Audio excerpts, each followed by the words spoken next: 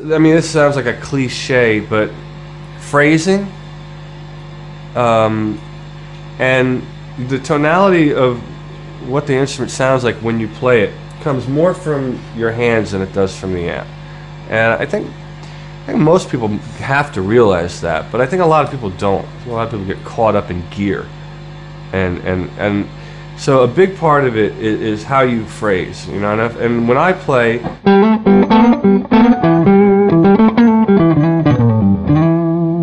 a lot of times I'm hearing a melody in my head and it's coming into the guitar. So I know that I'm playing within a pentatonic scale when I do that lick, but I'm not thinking in the terms of what scale I'm playing. I'm thinking in terms of.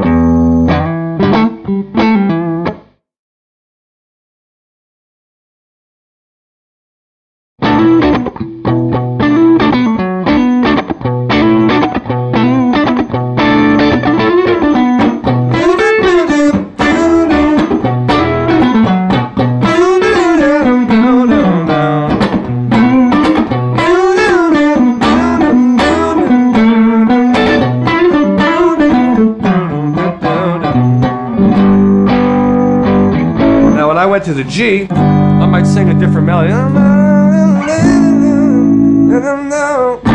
Back to my rhythm. But what I was doing there, I had a basic rhythm here. And then I was doing like a singing. And then I could put some words to that. And then, you know, I do a different chord change and sing something else and let the chord ring out to support the vocal. So what that is a two-fold thing. So you have the communication between the riff.